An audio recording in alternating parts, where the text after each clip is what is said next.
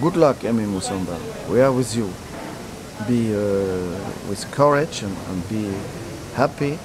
Uh, I hope you will have uh, a better time, a better future, and all the football world is with you. Nigerian Super Eagles are with you. Wish you all the best.